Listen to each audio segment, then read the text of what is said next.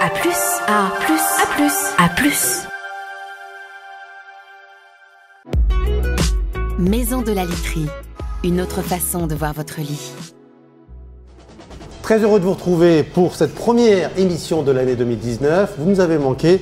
Toute l'équipe de Bienvenue chez vous vous attend ici dans le studio Ovlac à Yafo. Juste après, le générique.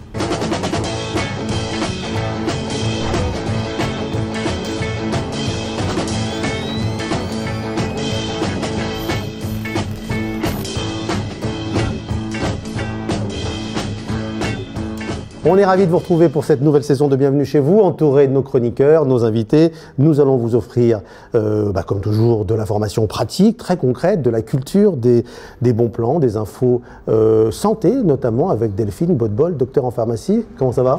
Très bien, merci. Vous avez Et manqué. Ah bah c'est gentil, vous aussi vous m'avez manqué. Docteur Youssef euh, Marek, dentiste. Bonjour, Ça va? Très bien. Heureux de vous retrouver également. Audrey Nataf, notre coach personnel, qui nous fait travailler sur nous-mêmes. Eh oui. Ça va Très bien, merci. Bon.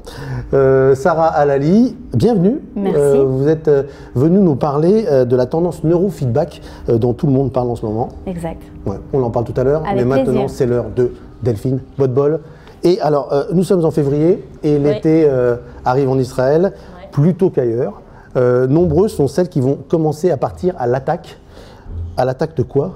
Bah de la cellulite. Un vrai problème.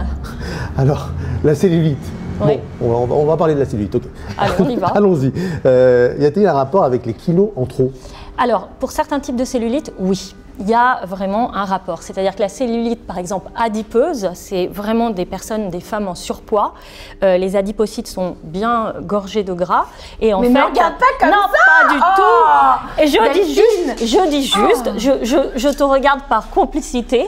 Et, je, et voilà, donc les adipocytes sont gorgés de gras. On le voit vraiment, c'est pas douloureux encore, mais on le voit au toucher. Il y a vraiment ce phénomène de peau orange, de peau d'orange. Il y a une cellulite aussi fibreuse, c'est la même, mais qui s'est enquistée dans des fibres de collagène super dures à déloger. C'est pour ça que vraiment, dans ces deux cas-là, il faut agir. La troisième cellulite qui n'est pas liée au surpoids, qu'on trouve chez les athlètes ou même chez des femmes très fines, c'est la cellulite aqueuse. Elle est liée à, une, euh, en fait, à un problème circulatoire, à une rétention d'eau. Donc euh, c'est vraiment une cellulite, euh, par exemple, on voit les chevilles sont un peu gonflées, c'est des personnes qui ont du mal avec la circulation du sang, qui ont un retour veineux difficile. Donc ça dépend en fait, il y a des cellulites de personnes euh, enrobées et des cellulites de personnes très minces Mais à et même athlétiques. on voit la même chose. Oui, c'est vrai, Voilà. C'est la tout même à apparence. fait. Ça se trouve, on peut avoir les trois et on ne sait pas. Et il y a même des cellulites mixtes, bravo, c'est vrai, on peut avoir les trois. Est-ce que toutes les femmes sont égales face à cette cellulite? Alors, alors, ça, c'est vraiment pas de chance parfois. Non, elles ne sont pas égales. Il y a une sorte de prédisposition génétique.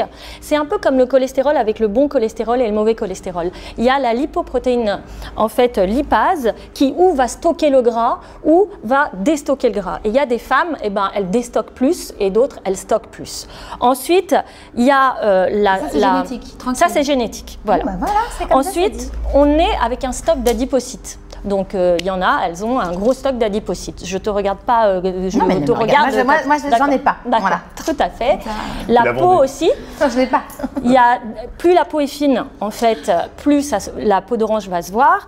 Et puis, euh, la structure, il y a des adipocytes qui sont en amas, donc c'est difficile, la, la circulation se fait mal. Donc, on aura une cellulite plutôt de type euh, aqueuse. Et le dernier point, bien sûr, c'est les hormones les œstrogènes qui vont stocker le gras. Donc euh, il y a tout ça qui fait que la femme, elle n'est pas, euh, elle est pas égale vis-à-vis de la cellulite. Une fois qu'on sait tout ça, il faut essayer de voir comment euh, arranger tout ça. Bah oui. Est-ce que l'alimentation, par exemple? Alors, pour les cellulites qui sont liées à un surpoids, la restriction calorique marche super bien.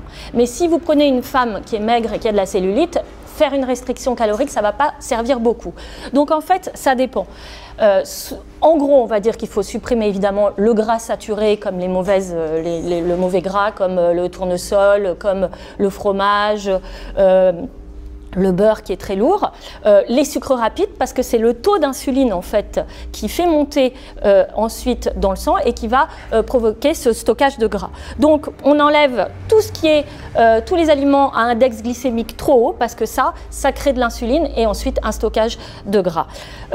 Euh, pour ce qui est des filles qui ont cette cellulite aqueuse, euh, beaucoup de drainage lymphatique, beaucoup d'eau et euh, du thé vert. Et les autres méthodes, sport, crème, massage Exact. Alors le, le sport, c'est ce qui marche le mieux et le contact avec l'eau. Marcher dans l'eau froide, par exemple, dans la mer, à Tel Aviv, c'est canon, ça draine énormément. Et ça masse. Et ça masse. Bah oui, ça draine, ça masse.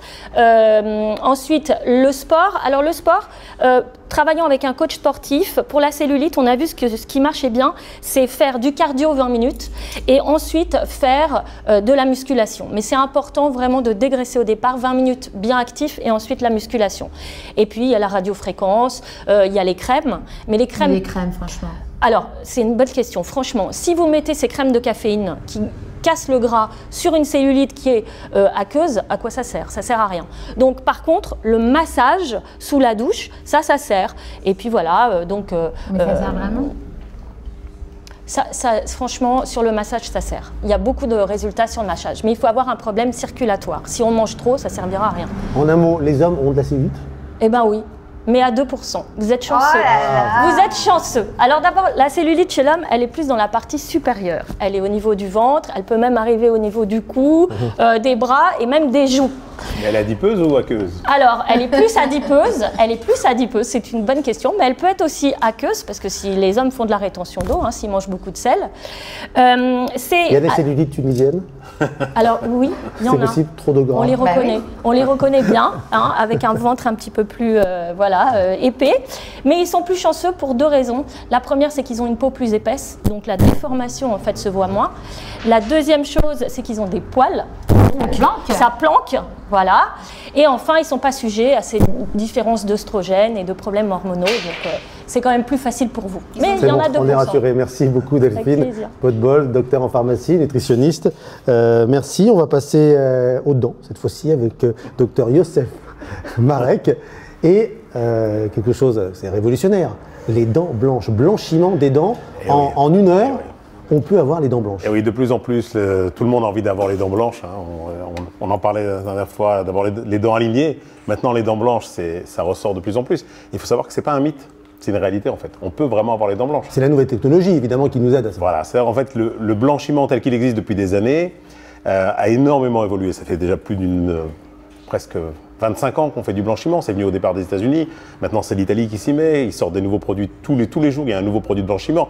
Le produit peut être bio, le produit peut être euh, interactif avec euh, la, gencive, alors qu'avant, il fallait faire une préparation, une modification de la gencive, protéger la gencive parce que le produit était trop, vraiment trop agressif. On a eu aussi en France euh, l'ouverture et la fermeture ensuite des fameux bars à sourire. Qui, en fait, parce qu'il y avait une, une libération, entre guillemets, de, De Comme vous voyez, on est, on est au cœur de Jaffa. hein. Si vous entendez des sirènes, Voilà. un peu de bruit, c'est la vie. On est au cœur de Jaffa. On est là. hein. Donc en fait, Peut-on blanchir les dents? on peut blanchir les dents. Vraiment, c'est on peut blanchir les dents et il faut savoir qu'il y a plusieurs méthodes. Il n'y a, Il y a pas plusieurs une types méthode. de blanchiment Exactement. Il y a plusieurs types de blanchiment qui sont en fait qui correspondent au type de dents parce que chaque émail est différent. Chaque personne elle va avoir une façon de recevoir le produit, de l'intégrer à l'intérieur de la dent, de la même manière qu'une personne va pouvoir euh, colorer, teinter ses dents en prenant du café, du thé, et pourquoi Et c'est ça, toi et pas X, et ainsi de suite. Voilà, parce que tout dépend en fait de la formation. Tout remonte à la naissance. hein. Si euh, notre ami euh, Lara était là, il, aurait dit- il nous aurait dit que c'était un problème euh, qui remonte à, à l'éducation, parce qu'en fait, ça vient d'un- d'un- d'un- d'une formation de l'émail dès l'âge de 7 ans.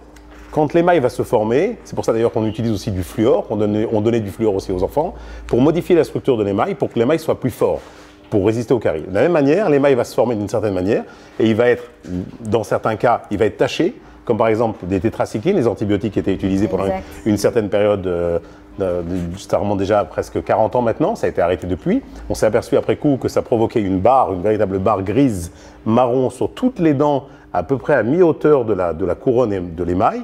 On a une sorte de barre comme ça qui est vraiment très très très difficile à faire disparaître. Donc tout, tout, tout part, tout part de, de la génétique, de la formation, du, du- si on peut dire, du cristal d'émail. À partir de ce moment-là, on va avoir un émail qui va être comme du verre, il va être vitrifié. Alors là, il n'y a absolument aucun produit de blanchiment qui peut rentrer. Comment Alors, on fait ça? alors, il y a des techniques, il y a des techniques beaucoup plus poussées. Il faut passer par des micro-abrasions. On va retirer une pellicule d'émail pour pouvoir faire pénétrer ensuite le, le produit. Donc, c'est un peu plus agressif déjà. Mais déjà, il faut savoir que donc il n'y a pas un blanchiment miracle. Il n'y a pas une technique qui va fonctionner mieux que les autres.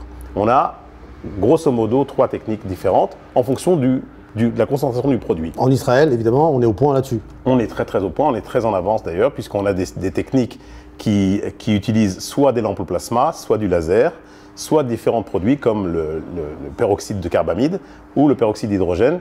C'est deux produits différents qui sont un petit peu proches dans, dans la famille, mais qui vont être utilisés pour, euh, pour passer la, la- la barrière de l'émail.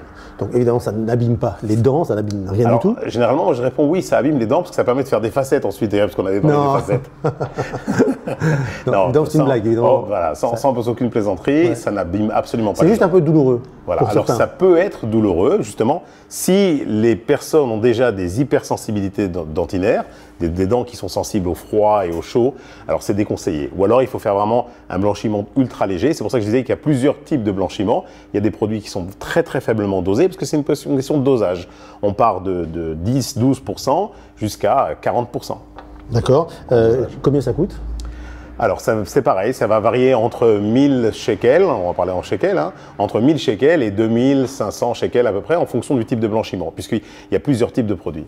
Une chose très importante à expliquer, c'est ce n'est pas pour tout le monde, et notamment, ce n'est pas pour les enfants, parce qu'il y a beaucoup d'adolescentes qui viennent et qui veulent, ou d'adolescents qui veulent à 15 ans, 16 ans avoir les dents blanches, parce qu'ils ont eu un problème génétique, par exemple.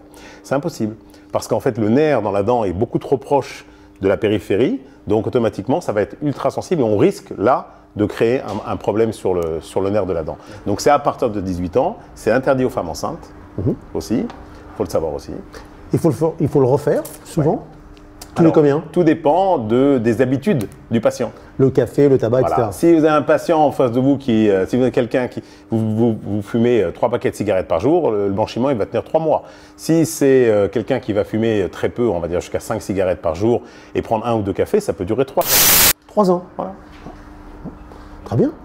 Très bien. Donc Oui, on ça vraiment en fait. et tout ça, ça. Alors exactement, c'est-à-dire qu'il y a, il y a, Curie, au, au niveau du blanchiment des teintes, il y a, il y a ce qu'on appelle les colorations euh, internes et les colorations externes. Ouais. Alors, on va faire très simple. Donc il y a d'une part la teinte de base de la dent qui peut être due à la génétique, être déjà foncée, être déjà plus jaune que entre moi, toi, et ainsi de suite, toutes ces personnes-là, X ou Y, on a des teintes différentes.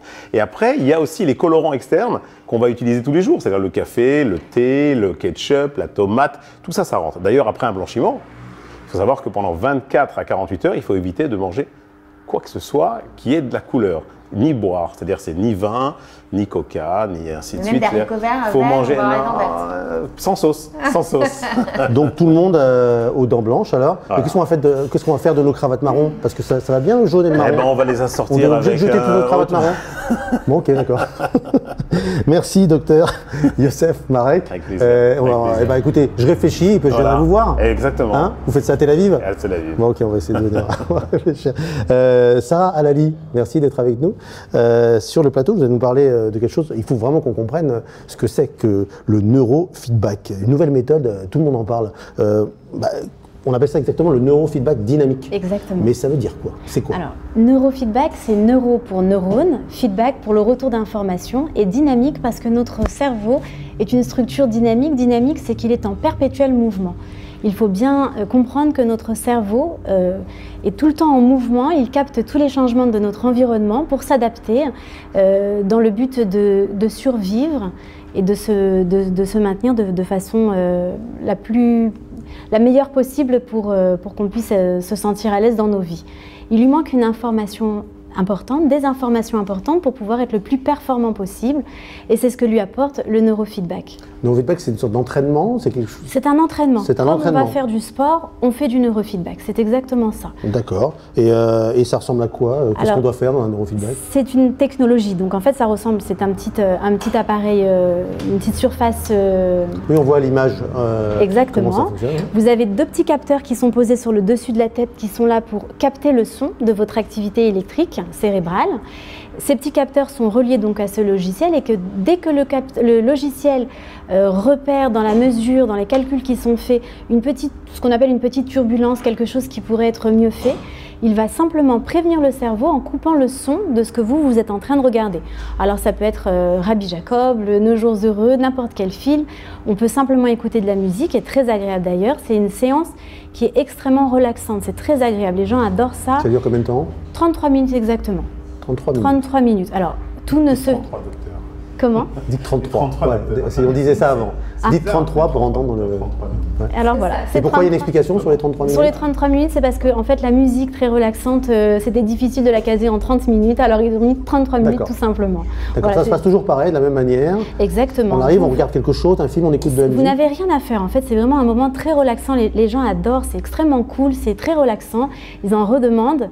Euh, c'est un moment de plaisir où on se retrouve face à soi-même et euh, on n'a rien à faire et ça fait du bien de ne pas toujours avoir à, à se livrer. Pour- Alors avant d'avancer, je voudrais qu'on revienne un peu sur l'utilité. Qu'est-ce qu'est-ce que ça va faire Qu'est-ce que ça va faire vraiment?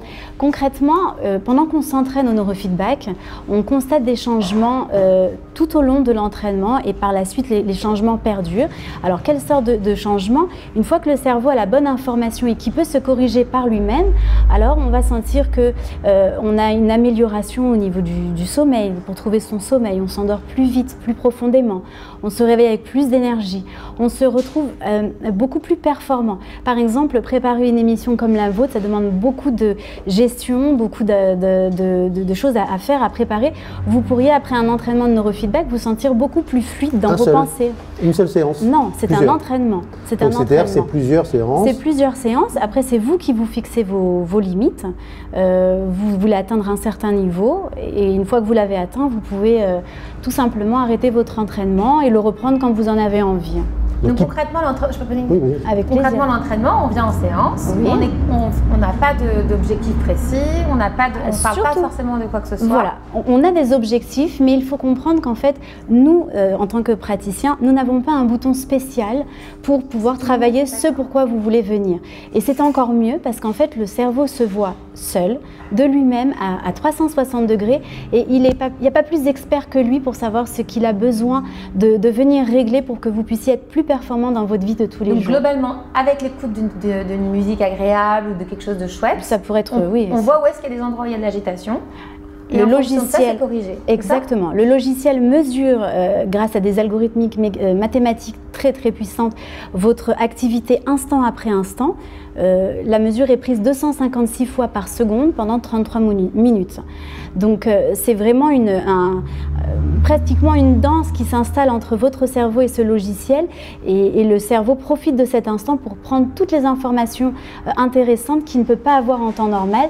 Et il va venir faire tous les réglages Et ça envoie des informations donc avec des Absolument pas. micro-capteurs Non, non, Ah, ça n'envoie rien. Juste un récepteur. Les, les ça enregistre capteurs, les capteurs captent le son. Très importante comme question. On n'envoie rien au cerveau, les capteurs captent le Ça, c'est le son. rôle du neurologue plutôt. C'est lui qui envoie des choses. Ah oui, bien sûr, non, non. Alors, vous, vous faites bien d'en parler. Ce n'est pas du tout une technique médicale. Euh, c'est un entraînement cérébral. Comme on va à la salle de sport, on s'entraîne. C'est une, une méthode qui est extrêmement douce et naturelle. On ne fait rien d'autre que de montrer de l'info. Est-ce que c'est pour tout le monde euh, Vous avez parlé tout à l'heure de troubles, euh, troubles de sommeil, dépression, des TOC, etc. Est-ce que Alors, c'est pour base, tous ces gens-là? oui, c'est pour tout le monde. Tout le monde a besoin de, de- de plus de performance, de plus de confort dans notre vie, euh, avoir les idées plus claires, être plus fluide et surtout diminuer le stress. Concrètement, on s'entraîne à plus de plasticité, à plus de flexibilité exactement. Quand notre cerveau est plus flexible, eh ben, une contrariété, on ne la vit pas de la même façon, le stress, on le gère complètement différemment. Et de- de- de cette façon, par ricochet, oui, ça peut aider aussi les personnes qui, qui ont des, des troubles plus, des inconforts plus précis. hein. Alors vous avez dit, vous êtes la form- formatrice officielle ici Je en suis Israël hein, formatrice officielle de en cette Israël. méthode. Euh, Il y, a, y a- y a un diplôme déjà pour vous et, et je crois que vous pouvez en faire passer en fait des diplômes. Vous pouvez Oui, en former des fait, gens. en fait euh, à la suite de cette formation, euh, les personnes qui se forment reçoivent le diplôme officiel de la société Zengar, qui est au Canada, que je profite pour les saluer parce que c'est une, une équipe très familiale, une entreprise très familiale. Ce sont des gens formidables qui, préparent et qui, euh, euh, ont mis au point cette technique depuis une vingtaine d'années déjà. Et donc effectivement, les personnes qui seront formées en Israël recevront euh, de ma part, de la, part de la société, le diplôme officiel qui leur permettra par la suite de repasser des équivalences tous les trois ans et d'être très proche de cette société justement. Donc il s'équipe d'une machine, il Oui. peut après s'installer comme praticien. dans Et justement, et justement, oui, c'est le but parce que la demande est vraiment très forte. Euh, certaines villes sont déjà euh, bien, euh, enfin, il y a déjà pas mal de praticiens, mais dans beaucoup d'autres villes, nous manquons de praticiens. Et euh, justement, je voudrais former une équipe de, de, prat- de praticiens à travers tout le pays pour pouvoir répondre à cette demande qui est vraiment forte. Les, les résultats sont vraiment très intéressants, très sympas. Ça aide énormément les familles. Il y a même des familles qui se sont équipées euh, Elles-mêmes. d'un- logiciel parce que tout est complètement automatisé et tout le monde peut avoir à son domicile cette technologie et en pouvoir étant formé évidemment. En étant formé. formé. Et il n'y a pas de Euh, langue, il n'y a pas de problème de langue, on peut faire ça. non, absolument pas, personne. Il y a exactement. Il n'y a, pas le. Donc, euh, vous avez un site complet où on peut évidemment. euh, Alors, j'ai ma page Facebook, mon site est en construction. Sarah Lally, restez avec nous parce Avec que là, c'est l'heure de notre coach personnel. Je raterai pas Elle est ça. là. Elle est là. Elle s'appelle Audrey Nataf. Et euh, d'abord, je vous demande pas comment ça va, Audrey Nataf. Pourquoi? Parce que euh, vous avez bien commencé l'année Oui, merci. avec Lego, mon jeu préféré, une pièce de théâtre qui a cartonné ici en Israël, à Tel Aviv, à Natania. Bravo déjà. Merci. C'est vrai Bravo c'était aussi à très Joan chouette. Toledano. Exceptionnel sur scène. Alors, oui. Vous avez écrit la pièce, euh, vous Coécrit, l'avez mis en scène, mis en scène, exactement, ouais. et ça a bien fonctionné. Ouais, c'était chouette. Peut-être qu'on reviendra, je sais pas, on verra. Ah, vous reviendrez Ah, on verra, on verra. Peut-être alors. En tout cas, ceux qui l'ont raté, il faudrait que vraiment. Ouais. C'était. euh, mais enfin, tout le monde était là. Vous l'avez vu? Extraordinaire. C'était bon, hein? Un grand moment. Ouais, très bien. Bravo, en tout cas. Merci. Euh, vous vouliez nous parler de la gestion du temps et de l'efficacité. Oui. Alors ne perdons pas de temps, allez-y. Oui, oui, oui. Alors, je vais vous expliquer pourquoi, en fait, j'ai pensé à ça. C'est, c'est- j'ai été chercher au plus profond de toutes mes failles à moi. J'ai eu besoin de résoudre un problème très concret chez moi. Nous et n'avons là, que, nous n'avons que 5 minutes. mais ça tombe très bien. Ça suffit pas 5 minutes. Toutes vos failles en 5 minutes, c'est possible Ok, bon, allons-y. Parce qu'il n'y en a pas. Parce qu'il n'y en a pas beaucoup. Mais vous, ouais, mais- Non, mais 5 minutes, ça suffit. Il n'y a pas beaucoup de failles. voilà. continuez, continuez, on n'a pas beaucoup de temps. Très peu de Il se venge. Vous savez pourquoi il fait ça? Parce que je lui ai pas envoyé assez, assez tôt mes questions. Il a raison, il a raison. Du coup, il improvise et je le paye. Allez-y. Donc, on part de deux constats. Deux constats très simples. Bon, le premier, il est fastoche. En gros, les distractions extérieures, les notifications sur le téléphone, bref, on est sursollicité. Et ce constat-là amène au fait qu'on a du mal à se concentrer. On se croit multitâche, mais non, on ne peut pas bien faire plusieurs choses à la fois. Premier constat. Et le deuxième constat, c'est la loi de Parkinson, rien à voir avec la maladie, mais c'est euh, la loi qui dit qu'en fait, notre, notre cerveau s'adaptera toujours au temps qu'il y a pour faire la tâche. Danger, danger, danger. Donc, en gros, euh, là, de là, est venue une technique qui, est- qui date de ma naissance, directos, qui a été créée par euh, Francesco Cirillo, qui est la technique Pomodoro. Ah, j'adore les pâtes à Ah, pomodoro. c'est- Exactement, mange des pâtes, c'est magnifique. C'est extraordinaire. Il fallait qu'on la fasse. hein. Non mais c'est- en fait c'est très bête, ça s'appelle comme ça pourquoi? Parce que cette personne-là a, a décidé de travailler son efficacité et sa gestion En mangeant du des temps. pâtes. Non, en se servant tout simplement du, du minuteur de sa cuisine qui a une forme de tomate. C'est vraiment débile. Mais c'est comme ça que ça s'appelle, c'est pour ça que ça s'appelle comme Alors, ça. Mais il se trouve que 25 minutes, c'est prouvé, c'est euh, la durée moyenne qui correspond au temps euh, où on est capable de se concentrer sur une seule chose sans faillir. Donc du coup, avec cette méthode-là, ça dit quoi? Ça dit, quel que soit notre objectif et ce qu'on a à faire, on va découper tout ça en tranches de 25 minutes. 25 minutes, c'est idéal, pourquoi? Parce qu'on va dire, en 25 minutes, j'ai une seule chose à faire et je vais y mettre toute mon attention. Et, après les 25 minutes, je fais une pause, je me relaxe, je regarde mes messages, je réponds à, aux SMS, j'ai résisté, ça crée une petite tension, on joue avec le temps, c'est sympa. Et on repart sur un cycle de 25 minutes. Donc on découpe tout en 25 minutes avec des pauses de 3 à 5 minutes en fonction. Et ensuite, au bout de 4 cycles, on fait des pauses un petit peu plus longues ça pousse à l'action. Et le truc qui est chouette, c'est que même la, même l'action, euh, la tâche, la mission la plus chiante au monde devient supportable si c'est juste 25 minutes qu'on doit lui accorder. Et puis ça Donc aide à se reconcentrer. Ça aide Ça, à ça muscle la ça concentration. muscle exactement. On va commencer à prendre conscience des moments de pause et de concentration. Au lieu de tout, ména- de- au lieu de tout mélanger tout le temps, on va commencer à donner un petit peu, on va muscler son cerveau. Donc, sans discipline de soi, de toute façon, on n'accepte pas à la transformation. Donc ça, c'est et ça devient un jeu. Parce que je vous jure, moi, et c'est très difficile pour moi de faire ce genre de choses, j'ai du mal à me concentrer sur une chose. J'ai toujours plein de projets à la fois, plein de. Donc, à un moment donné, ça aide vraiment à prendre du plaisir avec la minuterie. Et on coupe tout, on est vraiment sur son, son- truc pendant 25 minutes. C'est euh, c'est l'effort plaisir au lieu d'être l'effort contrainte, et ça c'est vraiment génial. Autre chose, hyper important, et ça c'est pour ça que j'adore. On accède à l'effet de l'expérience optimale.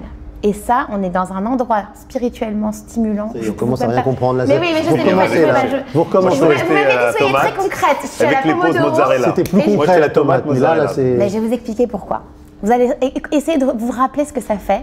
Quand on fait une seule chose à la fois, qu'on met toute son énergie, qu'on se concentre, qu'on est là et qu'on y va à fond et, que le temps est limité, on, on- on alloue toute notre énergie à une chose, on est traversé par un flot, on est traversé par un truc très vivant comme ça, on est absorbé par ce qu'on fait, le temps passe comme ça, et cette sensation-là, elle nous reste et c'est hyper agréable. Et ça, c'est l'expérience optimale, et c'est une forme de méditation finalement, parce qu'on est dans une concentration géniale, on fait mieux ce qu'on a à faire, et, euh, et on devient finalement plus rapide. Ça m'est arrivé un jour, j'ai même oublié de déjeuner, ce qui m'arrive jamais. Et ben voilà. Et J'étais tellement concentré sur quelque chose. Et c'est pas super agréable quand on a fait quelque chose qu'on n'a pas vu le temps passer. Mais j'ai quand même déjeuné. En fait, Franchement, c'est. pas- Et Pour attendez, avec la tomate encore. Concentré de tomate, hein. c'est- c'est- Et la... Vous avez pas- Voilà, voilà. Ah, Et ben la oui, écoute, hein. satisfaction, Non, non, mais- toutes les 25 Tu minutes, on a une satisfaction. C'était très intéressant. Toutes les 25 Franchement. minutes, satisfaction que j'ai fait ce que je... Ah, c'est vraiment génial. Merci beaucoup Audrey Nataf, merci beaucoup. On se retrouve juste après la pub. Euh, on va faire le plein d'infos pratiques de plans et euh, nous allons recevoir le Rav Yoel Benarouche voilà, dans un instant. À tout de suite.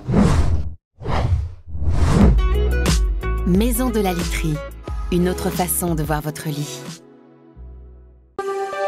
À plus, à plus, à plus, à plus. Publicité. Anatel, bonjour. Bonjour madame, excusez-moi, c'est quoi exactement la recette des beignets Parce que là, euh, Ok. Alors, il va vous falloir euh, 500 g de farine, Anatel, éternellement à votre écoute. C'est ça, notre recette. Anatel, téléphonie fixe, mobile, télévision, internet et solutions professionnelles. Eldoroto vous accompagne dans l'achat de votre véhicule. Le garage Eldoroto est spécialisé dans l'importation de voitures de luxe et de collection. Eldoroto, c'est aussi un centre de lavage à la main, un service valet VIP à domicile, une prestation spéciale pour les Olim. Eldoroto, votre garage à la française, haut de gamme et sur mesure, qui vous accompagnera même dans vos démarches administratives. Pour plus de détails, contactez-nous au 09 959 42 55. Eldoroto, le meilleur pour votre auto.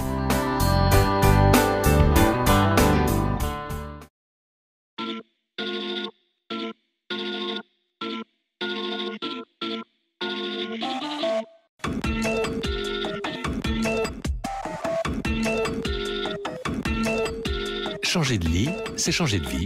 Maison de la literie, fabricant d'énergie positive. Eldoroto vous accompagne dans l'achat de votre véhicule. Le garage Eldoroto est spécialisé dans l'importation de voitures de luxe et de collection. Eldoroto, c'est aussi un centre de lavage à la main, un service valet VIP à domicile, une prestation spéciale pour les Olim. Eldoroto, votre garage à la française, haut de gamme et sur mesure, qui vous accompagnera même dans vos démarches administratives. Pour plus de détails, contactez-nous au 09 959 42 55. Eldoroto, le meilleur pour votre auto.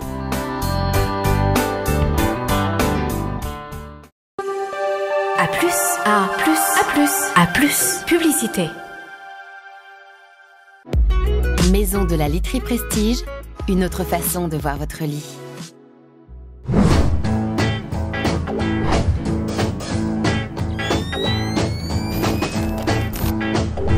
De retour sur A+, pour la deuxième partie de Bienvenue chez vous. On retrouve d'autres chroniqueurs. Alors, on a déjà Audrey Nataf, on a le docteur Youssef Marek. Docteur Lara, comment ça va? Ça va très bien. Content de vous voir. Moi aussi. Et je vous présente pas, évidemment, le Rav Yoel Benarouche. Ça va? Bonjour, comment ça va? Merci d'être avec nous parce qu'on va parler, on va commencer avec vous si vous voulez bien.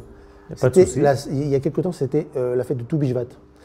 Et vous vouliez nous, nous donner un message important euh, sur, sur comment, comment on ancre, finalement, on s'ancre dans la terre avec, cette, avec ce message-là. Vous voulez nous en dire un peu plus? En fait, le judaïsme, comme n'importe quel sujet dans ce monde, doit être traité sur trois niveaux.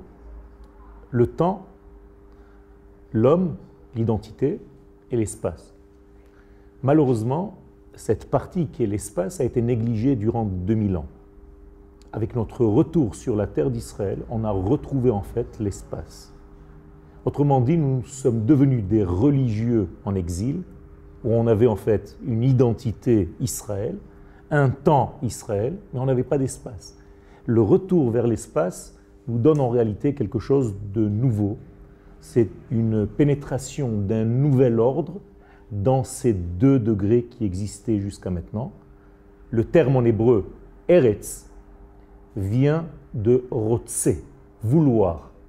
C'est très bizarre parce que ce que l'on veut nous fait courir en hébreu ratz.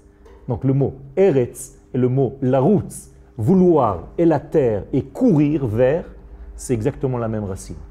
Donc il y a quelque chose de très nouveau, il y a une information qui vient de l'ordre terrestre, j'allais dire, du minéral, et qui en réalité complète les deux autres degrés qui étaient jusqu'à maintenant. Euh, un petit commentaire? Ça nous, on- ça nous transporte. Ça transporte Ça nous transporte, l'espace-temps. hein. On, se, on se déplace et on se retrouve déjà en Israël. C'est pour ça qu'on est là. Oui, pour il y en a pouvoir qui vivre les mitzvot temps. à 100%. il y, a- il y en a aussi qui prennent leur temps. Ils ne courent pas forcément. Ce sont des retardataires. Alors allez-y dans, dans, dans- dans- Alors, en fait, le, la Terre, l'information qu'elle nous donne, c'est la capacité à recevoir. En fait, c'est le réceptacle, c'est le contenant. Nous avons l'habitude de- d'élever, en fait, à donner. Mais beaucoup de gens oublient et négligent le côté réceptif. Il faut savoir recevoir. Ce n'est pas facile de recevoir.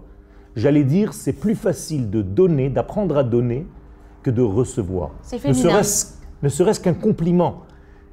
Quand vous dites à C'est vrai. quelqu'un tu es joli, il y a une certaine réticence. Il y a quelque chose comme si on disait non, c'est pas vrai, tu te moques de moi. Il y a quelque chose de très très fort là-dedans. Et la terre vient nous donner en fait, et c'est une correction. C'est une correction de recevoir. Quand je dis une correction, c'est en fait la correction de la première faute originelle du premier homme. En français, vous avez l'habitude de dire que nous mangeons pour vivre. Bien moi, je viens vous dire autre chose. On vit pour manger. Ah, Ça me fait plaisir. J'ai toujours On l'a pensé bien ça. compris, ça, Et en non réalité, c'est C'était la première mitzvah. Qui disait ça C'est la première mitzvah de la Torah. Dieu parle à l'homme en lui disant la première chose, mange. C'est incroyable. Qu'est-ce que vous êtes religieux, euh, docteur Lamar C'est- c'est- Je ne savais pas si religieux que ça. Et donc cette consommation, en réalité, vous comprenez bien qu'il ne s'agit pas seulement de consommer des aliments, mais d'intégrer des messages, des informations. On peut manger de toutes formes possibles et imaginables, par l'ouïe, par la vision, par le toucher, par le goût, par l'odorat. Il y a en réalité une multitude de consommations, de possibilités d'intégrer des choses dans notre vie, et c'est en réalité toute la clé de cette fête qu'on vient de quitter, qui est Tou Bishvat, qui est la sortie d'Égypte, juxtaposée à l'entrée en terre d'Israël. Remarquez que la paracha que nous avons lue juste avant Tou Bishvat, eh bien, c'est la paracha de la sortie d'Égypte. Le lendemain, c'était l'entrée en terre d'Israël et voir les fruits de notre labeur, c'est-à-dire les résultats de ce que la terre donne une fois que nous nous sommes implantés, j'allais dire, dans la terre. Et est-ce que cette fête n'est pas là aussi pour nous rappeler que ce temps d'intégration, de digestion doit rester organique? Tout va beaucoup trop vite, on n'a pas le temps de digérer, Tout à fait. de, de vivre au temps de la terre. J'en vois beaucoup, moi, des gens euh, qui souffrent justement de ne pas euh, d'être trop dans le monde de la, qui n'est plus la matière. Et le temps de la matière, si on ne si on respecte pas cette, euh, cette- ce temps-là aussi, il y a des déséquilibres, il y a des souffrances et ça se retrouve à plein de niveaux. entièrement d'accord. Je pense que le, d'ailleurs le- l'espace-temps, puisqu'on en a parlé tout à l'heure, ça va ensemble. C'est-à-dire que le temps n'existe pas en réalité sans deux points dans l'espace. Et la distance entre les deux, c'est ce qui nous donne la notion de temps. C'est très bizarre parce que en hébreu et dans toute langue, la petite mesure du temps, c'est deux points, d'où la seconde. En hébreu, shnia, c'est-à-dire la deuxième. Il faut deux pour avoir un temps. Et donc, il faut ce temps, il faut prendre le temps, et en réalité, c'est intégré d'une manière temporel au niveau de la matière. Merci pour ce petit moment très profond euh, et très fort. Merci beaucoup, euh, Yoel Benarouche. Restez avec nous. Euh, on va parler avec le docteur Michael Larare. Alors, vous voulez nous dire tout toute la vérité sur les pervers narcissiques. Alors, c'est un terme un peu euh, galvaudé, on entend euh, ça partout, notamment dans les relations euh, conjugales. Euh, combien de personnes se plaignent d'avoir euh, voilà, été victimes d'un pervers narcissique? Alors, on sous-estime aussi le- les pervers narcissiques au travail. Euh, chacun a des exemples. J'en ai un aussi euh, d'un patron euh, qui, je pense, a été pervers narcissique. D'abord, la définition d'un pervers narcissique. Euh, un pervers narcissique, c'est une pathologie mentale. Ces pathologies du champ narcissique, en fait, on dit en psychiatrie des personnalités borderline ou état limite. C'est un chapitre des pathologies mentales qui sont des états limites. En gros, vous avez les gens normaux qui sont les névrosés, les névrotiques. Vous avez malheureusement les gens très malades qui sont les psychotiques, c'est-à-dire les gens qui peuvent carrément délirer. Et puis au milieu de ça, vous avez les états limites, limites entre les deux. Et là-dedans, vous avez les toxicomanes, vous avez les narcissiques, les pervers narcissiques, etc. Bon, les, les gens qui ont euh, véritablement ce trouble psychiatrique, c'est très rare, d'accord, d'avoir ce véritable trouble Ah, c'est assez rare, ils sont peu nombreux. Bien sûr, bien sûr que c'est très rare. Et l'ensemble des, des champs pathologiques, ça va de personnalité, ça va toucher peut-être 5% des gens, 10%, ce qui est beaucoup en vérité. Mais dans mon cabinet, tous les gens qui divorcent sont mariés ou étaient mariés à un pervers ou à une perverse narcissique. Donc, en statistique, il y a un truc qui m'étonne toujours un peu. Ou alors j'ai vraiment un biais de recrutement au cabinet. Do- Donc, ça existe vraiment. Alors ça existe vraiment, et pour dire quelques mots dessus, euh, ce sont des gens qui ont des, qui ont des relations pathologiques froides, c'est-à-dire peu riches, peu investis affectivement avec les autres. L'autre est un objet qui leur est dévolu. Alors d'où ça vient? Ça vient de troubles euh, infantiles sévères, c'est des gens qui ont souvent été mal aimés euh, à la maison, et donc euh, l'autre c'est plutôt quelque chose qui est éventuellement dangereux et au mieux qui peut me servir à ma gloire, à mon épanouissement. Mais donc, quand je vais m'intéresser à vous, je ne vais pas m'intéresser à ce que vous êtes vous, je vais m'intéresser à ce que vous pouvez m'apporter. Uniquement ça. Il y a toujours dans la relation narcissique, ok, c'est-à-dire une part d'amour-propre, d'orgueil dans la relation que j'ai avec quelqu'un, et une part objectale, c'est-à-dire une part, on va dire, de la jolie relation, de ce que l'autre m'apporte. Si par exemple je rencontre euh, Kylian Mbappé, eh ben, je vais avoir très envie d'être copain avec lui, parce que c'est Kylian Mbappé. Ça, c'est la part narcissique. J'aime bien qu'on me voit avec, comme ça, etc. La part objectale, ce serait si vraiment le gars est sympa et c'est intéressant et c'est rigolo de parler avec lui, etc. Voyez? Mais la part narcissique, c'est évidemment la plus forte dans les relations euh, assez pauvres. C'est au-delà des manipulateurs, évidemment. Alors, manipuler, on peut être quelqu'un de sain d'esprit et manipuler. manipuler. C'est un intérêt, j'ai un objectif. Après, euh, on voit bien que les gens qui ont des troubles mentaux, les psychopathes, les narcissiques, etc., comme l'autre n'est pas très important, l'autre n'existe que pour ce qu'il peut m'apporter, ben, je peux jouer avec. Je m'autorise du coup à le manipuler et je n'ai pas de culpabilité ça, c'est un élément fondamental pour voir ce qu'on a en face, pour voir les gens du champ plutôt sains, névrotiques, et les gens qui sont euh, qui fonctionnent pas bien. Les gens qui ne fonctionnent pas bien n'ont pas de culpabilité, parce que la culpabilité, c'est l'identification à l'autre et à la peine qu'il pourrait ressentir et que je pourrais lui avoir causé. Donc, il faut et une remise en question et une identification à l'autre, c'est-à-dire qu'il faut que l'autre il existe. Alors, vous, vous m'amenez à. Peut-on se reconnaître pervers narcissique? Non. Soi-même Bien sûr Impossible. que non. Impossible.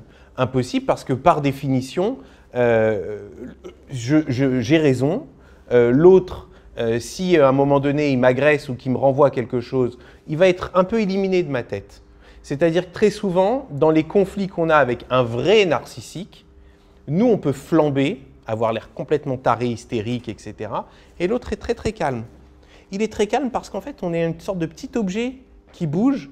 Et lui, à partir du moment où on est désagréable avec lui, où on lui renvoie quelque chose de négatif, on n'a plus tellement d'intérêt pour lui. Alors que votre mari ou votre femme, que vous traitez de pervers ou de perverse narcissique, quand vous hurlez l'un sur l'autre, quand vous avez envie de vous arracher les yeux pour vous faire comprendre, mais pour pas vous quitter quand même, ça veut dire que l'un et l'autre, vous comptez beaucoup l'un pour l'autre. Déjà, Donc, c'est pas la ça élimine en général la pathologie narcissique. Le narcissique, le père narcissique, c'est quelqu'un qui a un plaisir à faire du mal, qui a un plaisir à jouer C'est la, c'est définition. C'est le pervers, c'est le côté pervers de la Mais chose. tous les pervers sont narcissiques. On ne peut pas être pervers en psychiatrie sans être narcissique. On peut être C'est pas narcissique possible. sans être pervers. Exactement. On peut être narcissique sans, sans adorer faire du mal. C'est-à-dire, là, ça va être plutôt des gens qui ont l'air très sympas, très séduisants, qui sont très copains avec nous. Et puis, si un jour on est moins intéressant, ils vont pas nous faire du mal, mais ils nous mettent de côté, on n'existe plus. Ils sont pas véritablement intéressés à qui on est. J'imagine qu'il y a des gens qui vont, vérifier, euh, qui vont vérifier qui il est, qui il n'est pas. Ils vont aller sur Internet. Est-ce qu'il faut se méfier de, de- Alors, des petits tests sur Internet? Sur Internet, honnêtement, on lit que des bêtises. Ou alors, ce qu'on lit de bien, ce sont des, ce, ce sont des contenus universitaires. Vous savez, quand vous Ouais, tapez sur. Google et que vous tapez pervers narcissique, etc., vous allez lire que des articles d'Octissimo, que des horreurs stupides.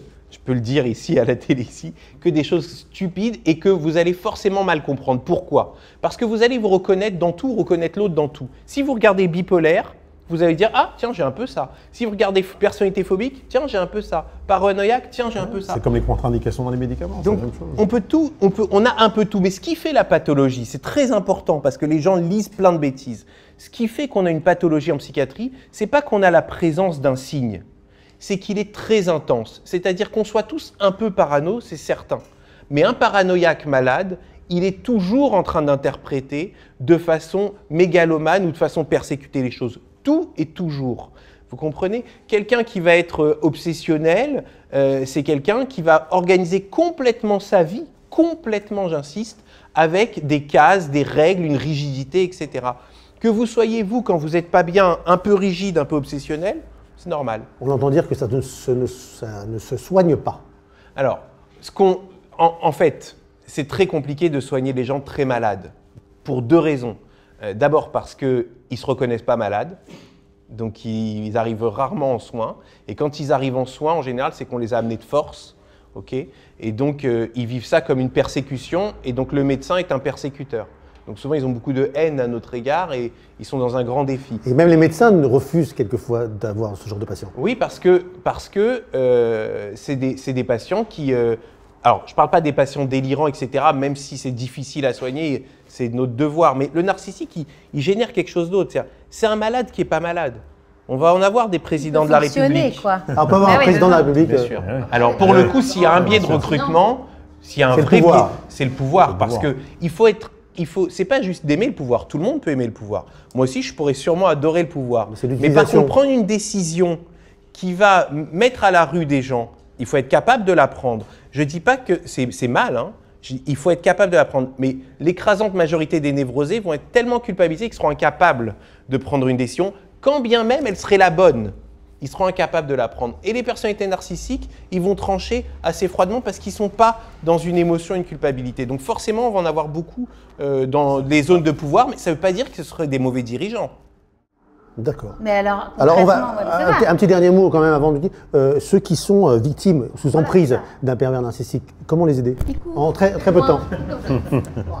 Alors, bon, euh, si vous voulez, la plupart du temps, les gens qui pensent être victimes de pervers narcissiques, et c'est pas forcément un pervers narcissique qu'ils ont en face, mais ils sont quand même peut-être pour autant dans un conflit dans lequel il y a des enjeux narcissiques. C'est-à-dire que mon patron, ça peut être quelqu'un qui a un bon fonctionnement mental avec les trois quarts des gens, et puis dans un registre avec moi, il va avoir quelque chose de, de très violent, de très froid. Et Oui, c'est important de faire cette différence. et C'est oui, là toute la c'est- c'est distinction. c'est pas forcément que c'est un pervers narcissique, mais il peut agir de façon narcissique, logiquement pas perverse. Je dirais que, que s'il faut retenir quelque chose, si on a en face de nous quelqu'un qui nous malmène en restant toujours très calme, ou quelqu'un qui semble prendre plaisir à nous mettre en difficulté, et puis qui semble pas avoir de l'empathie ou de la culpabilité à aucun moment, qui a jamais de remise en question, alors quel que soit le diagnostic qu'on ne sera pas capable de faire, eh ben, il faut prendre acte que c'est une situation à éviter.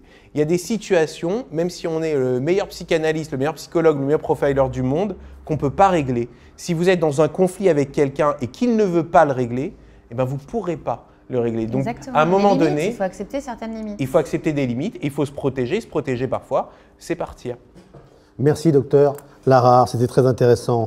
Euh, on va passer au docteur Marek, puis qui va se transformer en docteur Love, musique.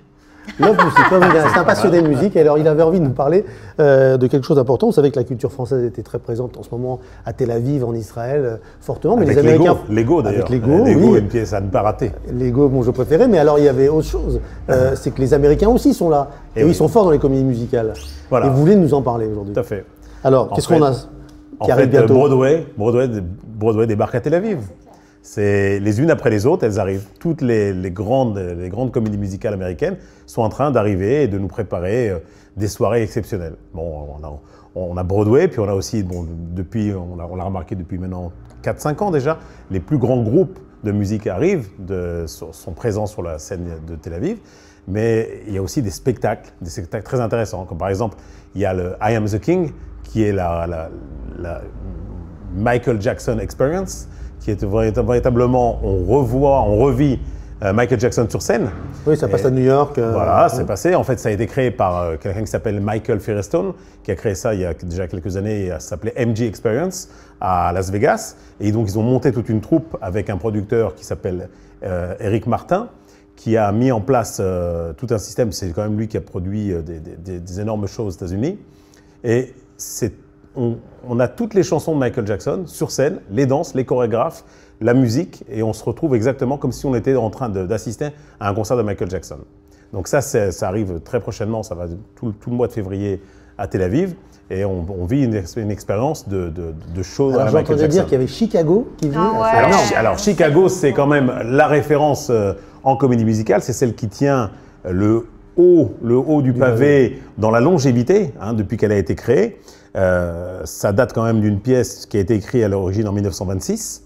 Ensuite, ça a été créé en 1975. Et ensuite, il y a eu un revival, c'est-à-dire qu'ils refont un remix, en fait, ils rechangent toute la, chorégraphie. le film aussi qui a, qui a été créé, c'était en 1996. Et depuis que 1996, je crois que ça a été joué euh, 33 000 fois, enfin bon, c'est- dans le monde entier en plus. Donc ça tourne un peu partout. Et là, donc la production israélienne a décidé de faire ça un petit peu, non pas à sa manière, mais de rajouter une note supplémentaire en prenant la vedette israélienne Shiri Maimon, qui est Ah une, oui. des, une des plus grandes vedettes israéliennes, et c'est elle qui, in- qui incarne le rôle de Roxy.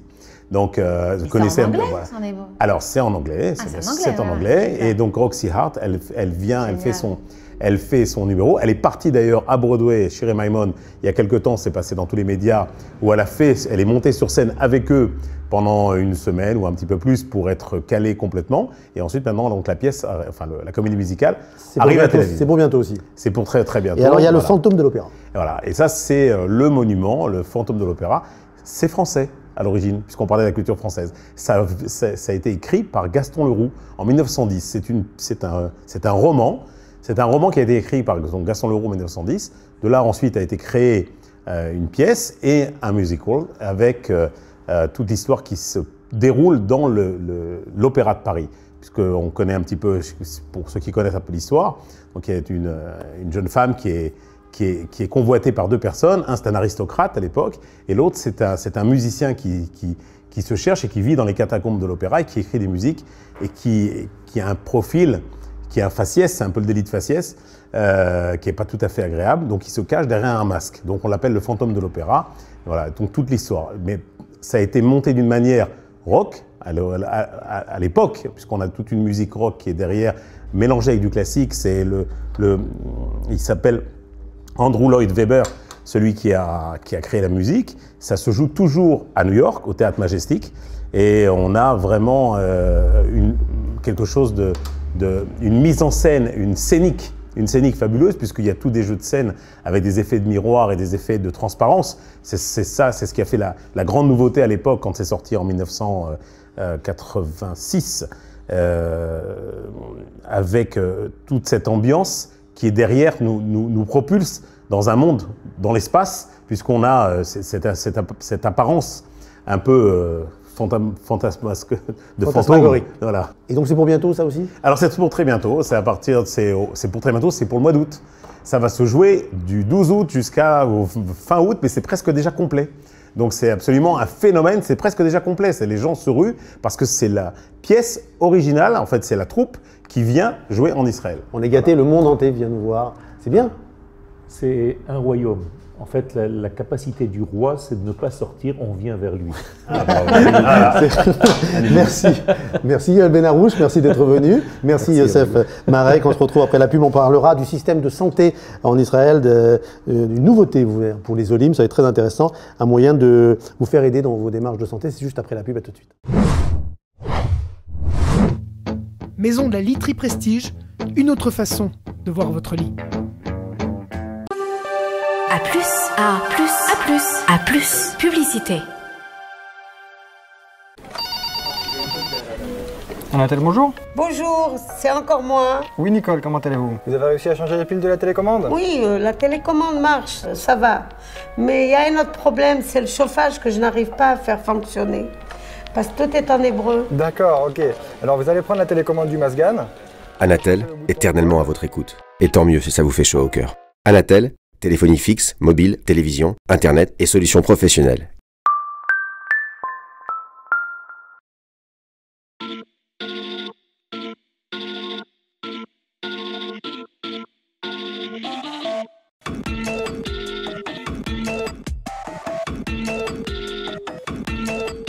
Changer de lit, c'est changer de vie. Maison de la literie, fabricant d'énergie positive. Eldoroto vous accompagne dans l'achat de votre véhicule. Le garage Eldoroto est spécialisé dans l'importation de voitures de luxe et de collection. Eldoroto, c'est aussi un centre de lavage à la main, un service valet VIP à domicile, une prestation spéciale pour les. Eldoroto, votre garage à la française, haut de gamme et sur mesure, qui vous accompagnera même dans vos démarches administratives. Pour plus de détails, contactez-nous au 09 959 42 55. Eldoroto, le meilleur pour votre auto.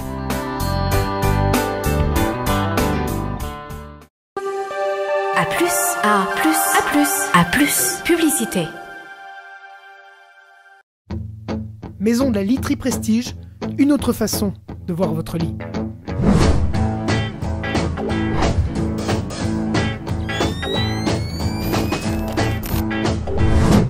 De retour sur Bienvenue chez vous pour la troisième partie de cette émission. C'est la 29e émission de l'année. On est ravis de vous retrouver sur A, avec euh, un invité tout à l'heure, le, le magicien Dan Bell, qui viendra présenter son nouveau tour tout à l'heure. Euh, et la transition est très facile pour moi, puisqu'il faut au moins être magicien euh, pour connaître toutes les ficelles et pour pouvoir avancer dans le labyrinthe de- du système de santé israélien. Et justement, on a avec nous Sandra Abetan et Talia Hadjiman qui vont nous raconter tout ça. Bonsoir. Bonsoir. Alors, on vous a invité. Alors, c'est médical, c'est votre, votre entreprise. Exactement. Euh, Médical. médical avec un K. Euh, une nouvelle plateforme euh, en Israël euh, pour aider les Olim euh, à comprendre un peu comment ça fonctionne, le système de santé. Exactement. Un Comment- service, en fait, c'est un nouveau service qui va aider la communauté francophone dans tout le labyrinthe de- du système de santé. Alors, de- par quelle manière? Un coup de téléphone, un mail euh, Voilà, tout à fait. Il y a plusieurs euh, possibilités. Soit euh, les personnes nous appellent, donc c'est des personnes qui seront inscrites auprès de nos services. Elles nous appellent et ensuite elles nous demandent ce dont elles ont besoin. Et nous, après, en fonction, soit c'est de la prise de rendez-vous, soit elles ont besoin vraiment de répondre à certaines questions, des choses qu'elles ne comprennent pas dans le système de santé en Israël. Tout simplement, comment ça se passe dans- au sein de la, de la Coupatrolim, la caisse de santé, euh, quels médecins ils ont le droit d'aller voir, comment ça se passe euh, quand on doit aller aux urgences. Enfin, il y a mille et une questions qu'on peut se poser aujourd'hui dans le système de santé.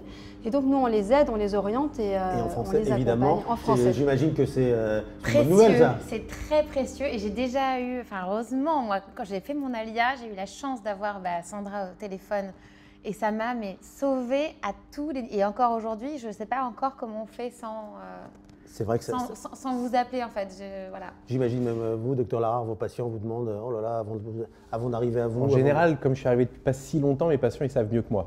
Ça- ça arrive Comment que je leur dise Vous auriez besoin de ça Est-ce que vous savez comment on peut y aller?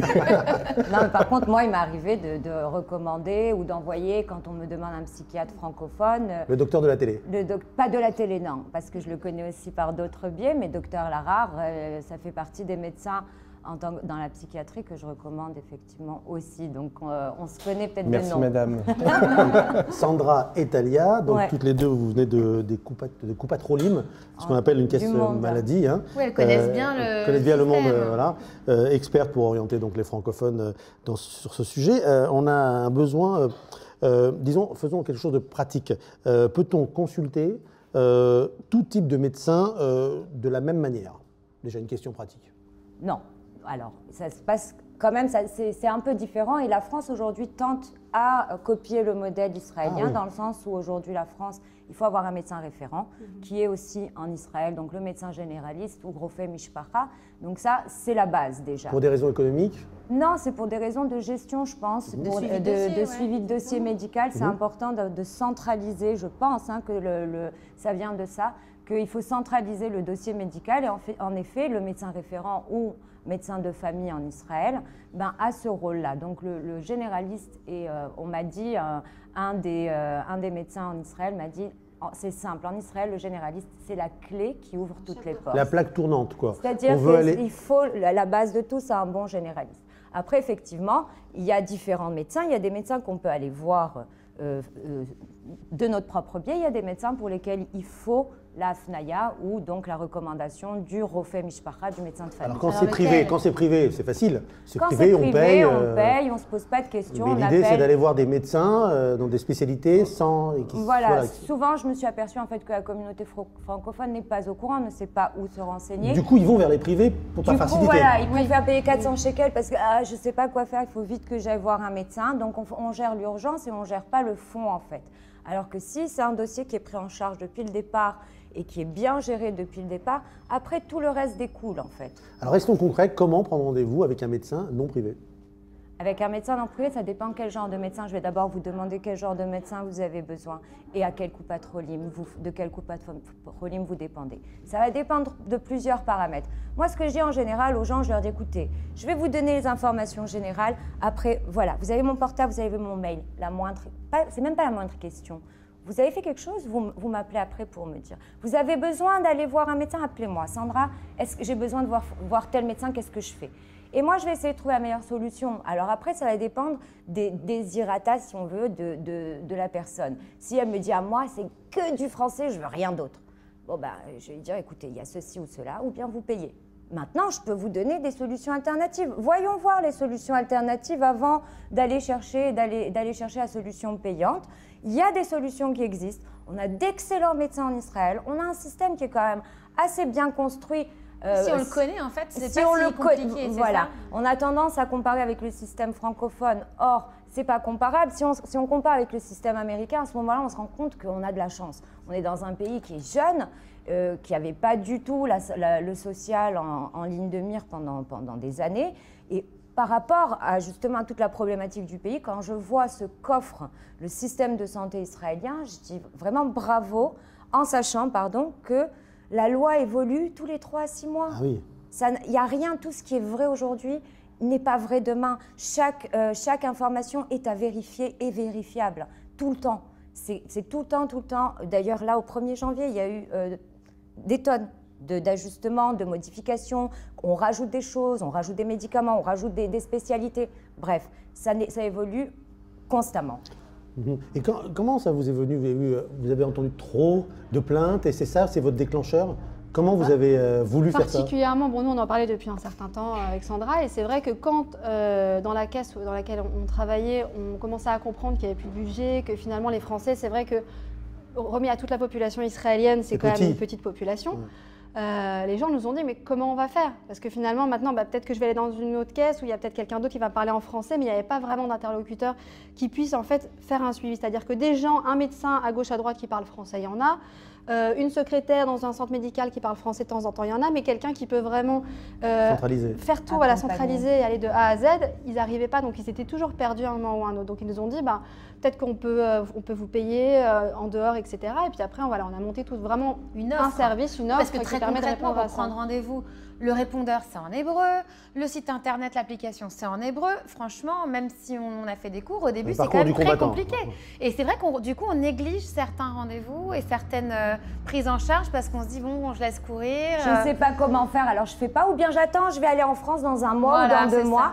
ça. Et moi, j'ai des patients comme ça qui habitent en Israël depuis 10 ans et qui continuent, mon Dieu, à aller en France, chercher leurs médicaments, à se faire envoyer leurs médicaments, qui attendent. Les doliprane, Mais le oui, citrate de bétaïne. le, bah oui, l'augmentin, il préfère, enfin, on ne doit pas citer, mais les médicaments, ils préfèrent euh, ceux Ouais. qui sont faits en France. Parce Mais donc vous, vous pouvez mieux. accompagner, si on, si on s'abonne à vos services, en fait, on- on- du coup, vous prenez des rendez-vous pour nous, vous gérez le suivi euh, si on a des choses à faire.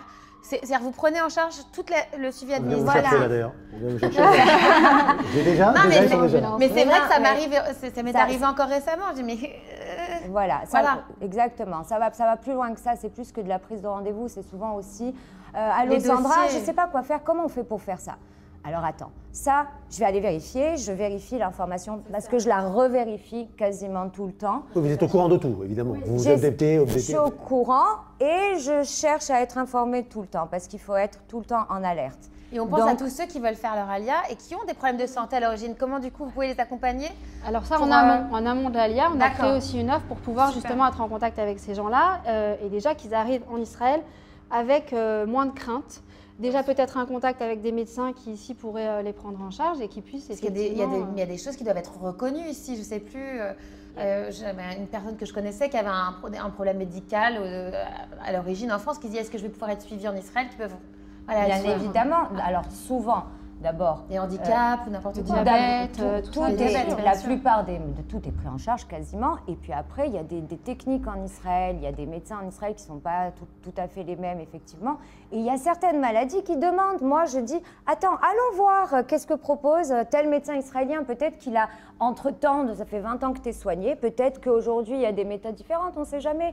La, la médecine est, est en constante évolution. Un traitement qui était valable il y a 20 ans n'est peut-être plus aussi ou plus euh, autant, enfin, j'en sais rien, mais en tout cas, je ne suis pas médecin, hein, ça c'est sûr, certains, je Ouais. prétends pas Mais vous du orientez tout. en tout cas et vous aidez les dossiers à être Voilà. accompagnés Alors, pour que le suivi se fasse. Audrey, j'ai entendu aussi dire que vous aviez peut-être une offre de suivi administrative. Oui, plus Alors, est-ce que vous pourrez, dans l'avenir peut-être, euh, étendre le champ à l'administration Ça, classique? c'est mon ambition personnelle à moi. Je pense que c'est pour ça qu'Audrey euh, Audrey en a parlé certainement. Ça, c'est mon ambition personnelle parce qu'effectivement, face à la détresse des francophones au niveau de la santé, et, euh, et du coup, j'ai eu plein de demandes du genre des gens qui appellent en détresse Ah mon Dieu, c'est quoi ce papier? Je sais pas payer un PV, euh, ça.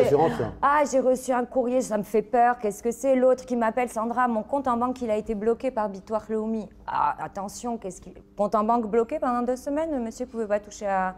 pouvait pas accéder. Parce qu'il n'a pas payé le Parce que X ou Y raison, c'est-à-dire que juste par un manque de suivi. Mais je oui. lui dis alors, mais t'as reçu le courrier? Il me dit ah, mais je sais pas, moi je les ai jetés. Je dis Oh là ok, là là là tu jettes pas, tu fais la photo, Donc tu voilà. m'envoies, au moins qu'on sache qu'on gère les urgences. Au Et vous. Talia, ce serait aussi d'accompagner les médecins ici qui s'installent? Alors déjà, d'une part, effectivement, les médecins qui viennent en Israël, on peut les mettre en relation avec des caisses, on, peut, ouais. on peut les mettre en relation les uns avec Parce les autres. pour bien le puissent, système. euh, à la base, moi j'étais dans le recrutement avant de travailler à la, à la- dans, dans les caisses de santé, donc du coup, c'est quelque chose que j'ai fait un petit peu de manière naturelle. On a recruté beaucoup de médecins francophones. Euh, donc effectivement, les médecins euh, qui puissent travailler dans des caisses, mais également de pouvoir créer vraiment une plateforme dans laquelle il y aurait euh, tous les médecins qui puissent prendre leur rendez-vous finalement avec les médecins euh, francophones, que ce soit par le biais de caisse ou par le biais, enfin, pour qu'ils soient en privé, euh, mais que ça puisse être des plateformes aussi de prise de rendez-vous automatiques.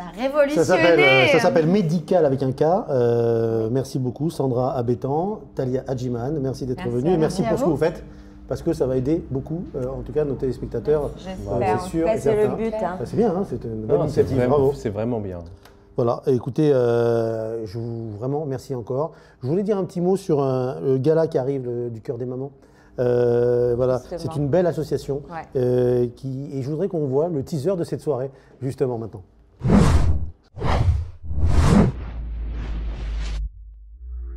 Ceci n'est pas une poésie, mais bien un tour de magie. Je vous présente ces belles mamans qui, avant la naissance d'un enfant, étaient vêtues de blanc. Aider est leur seule priorité. La générosité est leur première qualité. Elles ont le cœur sur la main et font cela au quotidien. Si j'écris ce slam pour vous, mes chères dames, c'est que même dans les moments les plus durs, vous gardez toujours bonne figure. Apporter de la couleur à des frères ou des sœurs n'est pas un artifice, mais une pierre à l'édifice.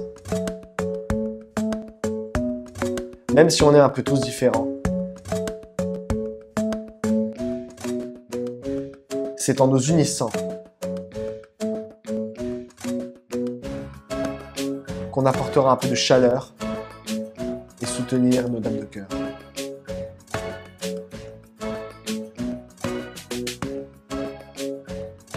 Alors on compte sur vous pour être présent au gala du cœur des mamans.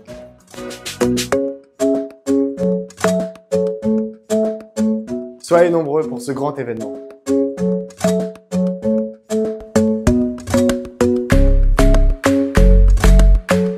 On vous attend.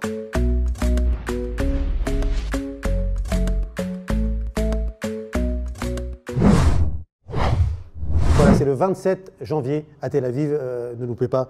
Euh, voilà, c'est ce beau gala. En tout cas, on leur fait un petit, un petit clin d'œil. Et bravo pour ce qu'ils font. Euh, ah, vous aimez la magie?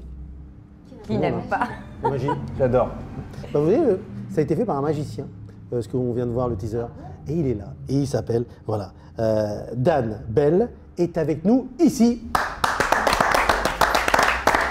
Vous êtes apparu comme ça, quoi. Tout de suite. Je, je pensais à vous et vous êtes à- arrivé. Bravo. Alors, vous êtes venu avec des choses. Vous voulez nous présenter votre dernier tour. Alors voilà, c'est euh, ce que je vais réaliser ce soir. C'est pas un tour de magie, c'est plutôt une expérience, d'accord? Alors, on va s'assurer que personne n'est complice. Hein? Ah oui. D'accord. Personne n'est complice. Promis. J'ai ramené plusieurs bouquins, d'accord? Euh, Tiens, euh, Talia, je vais te demander de me dire stop sur les livres, d'accord? On a combien de temps? Tu, me dis- tu me dis ça quand tu veux. Stop. Sur celui-là ou sur celui-là? L'autre. Celui-là? Ouais. D'accord. Euh, je vais te demander s'il te plaît de le garder. Voilà. Et j'ai ramené euh, avec moi un jeu de cartes. Qui est là-bas, juste là. Hop. Et je vous montre bien que toutes les cartes sont différentes. Donc on va voir à la caméra que toutes les cartes sont différentes. Ah, c'est un jeu de cartes, voilà. Normal. Vraiment tout à fait normal. Stéphane, est-ce que tu veux mélanger le paquet? Alors, quand, quand on n'a pas trop le temps, on va vraiment me faire confiance. Il le fait à chaque fois. Il le fait à chaque, chaque fois. fois, ça il me marche. base comme ça. Alors, euh, tiens, euh, Mickaël, je vais te demander d'en toucher une au hasard, n'importe laquelle, c'est que tu veux. C'est là Oui. Vas-y, tu la prends Je la prends. Ouais, s'il te plaît. Ce serait fort si je devine la carte ou pas Elle serait extraordinaire. Carrément. Euh, alors, ce que je vais te demander maintenant, c'est juste de me dire stop. D'accord Ou tu, quand tu veux. Vas-y. Stop. Stop là Ouais. Tu prends la carte, s'il te plaît, tu la Oui. regardes. Audrey, Oui. je vais te demander parfait, pareil, pareil, de me dire stop quand tu Stop. veux. Là, juste là, là. Parfait. Voilà, vous regardez, la- vous regardez les cartes. C'est bon? Alors, à 3, vous allez retourner les cartes. 1, 2, 3. Retournez les cartes. Michael, t'as choisi le 8. Audrey, t'as choisi le 5. Oui. Ça fait quoi comme page du coup 8, 5 85. Oui. Est-ce que tu peux aller à la page 85 s'il te plaît Je du coup? peux. Oui. C'est bon, que je regarde pas, vas-y. Et tu vas lire s'il te plaît la première ligne de la page 85 dans ta tête, dans ton esprit. Ah, ok. Retiens un mot de cette ligne, mais un mot assez long, assez compliqué De cette ligne ou de cette phrase de cette ligne. Pas la phrase, la ligne. Ok. C'est bon? C'est quoi le mot? Mystérieuse. Mystérieuse. Regardez, j'ai une prédiction. J'ai prédit P539 CG D7. Voilà. C'est fort, non? Bravo Mais tout ça, mais tout ça n'est que diversion. Tout ça n'est que diversion. P539 CG17, ça veut dire Stéphane. Page. On va demander à Sandra, est-ce que tu peux aller à la page, s'il te plaît? La page 539 CG, colonne de gauche, D7, définition 7, s'il te plaît. 500 P, quoi Page 539, colonne de gauche, définition numéro 7. Non, je peux pas le Donc croire. c'est quoi, c'est quoi, c'est quoi? Mystérieux. Mystérieux. Ah, bon. Ah non, Attention, mais non. Alors, on Alors, va montrer la caméra. La caméra. Cédric, caméra. est-ce qu'on le voit? Cédric, voilà. Mystérieuse. Parfait. Je suis choquée. Merci. Oh là là. Bravo. Alors, on va essayer de faire plus fort. Encore On va essayer de faire Plus fort que ça Tiens, Audrey, tu vas prendre le livre. Oui. Tu vas ouvrir. Tu veux changer le livre ou c'est bon Non, mais une place, une Alors, tu ouvres une page au hasard, n'importe laquelle. Il, est- il a pris par Ah, cœur le bouquin. peur. Ouais, c'est ça en fait, tu dois connaître par En fait, je suis la deuxième personne Ok. monde à avoir la meilleure mémoire. Ouais, tu, tu as la pris. première, je m'en rappelle plus.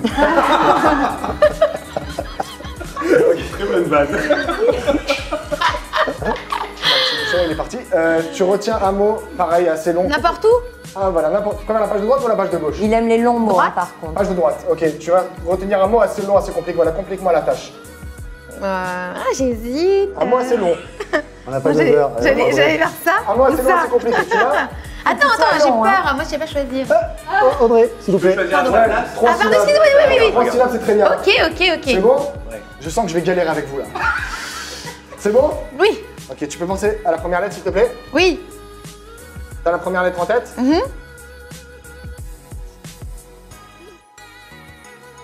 Ok, génial. C'est quoi la première lettre Ah, comme mon prénom. C'est un A Mhm. Merci beaucoup, merci. ok, là, tu peux penser pas à la première, pas à la dernière lettre. Quoi? Je pense tu pas à penses cette pas à lettre. la première, pas à la dernière. Tu penses à un B, Si tu veux. c'est ça Oui. Ouais, alors ferme le livre, ferme le livre, c'est bon. Euh, Est-ce que dans. Est-ce que c'est un mot qui, qui me correspond à moi? Hmm, pas trop. Non, pas trop. Que Ça correspond à un pays par exemple?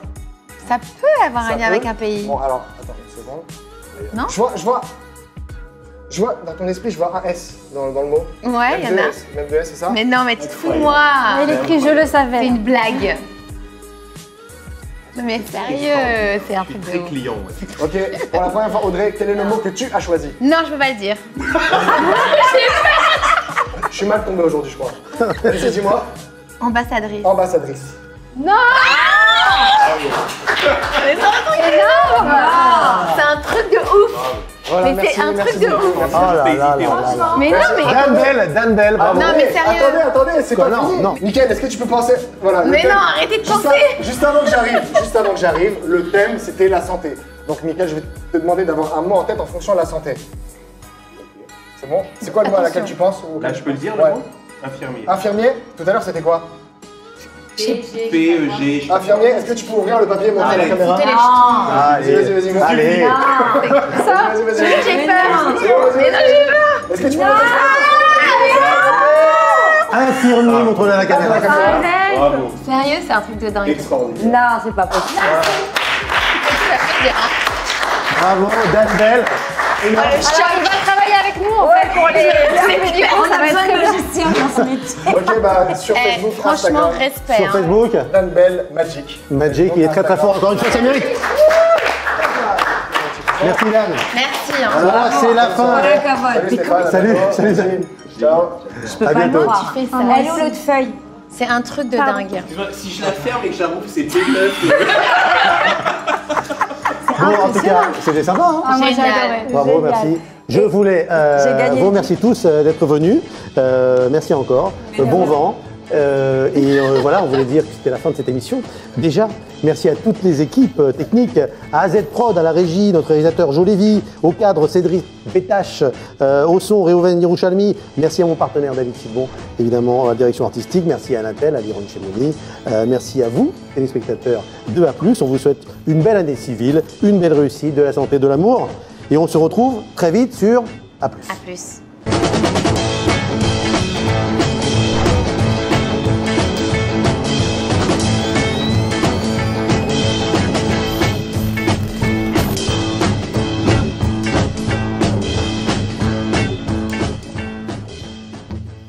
Maison de la literie Prestige, une autre façon de voir votre lit. A plus, A plus, A plus, A plus.